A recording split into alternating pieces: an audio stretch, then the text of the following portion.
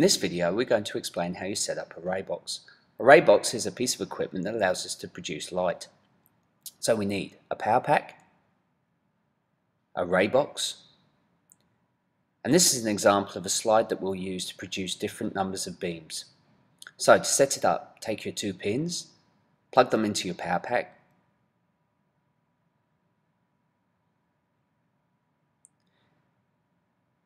take your slide, and we're going to insert the slide into uh, the slots at the front of the raybox,